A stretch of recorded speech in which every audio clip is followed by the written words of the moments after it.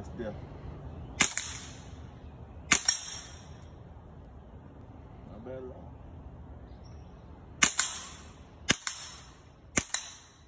There you go.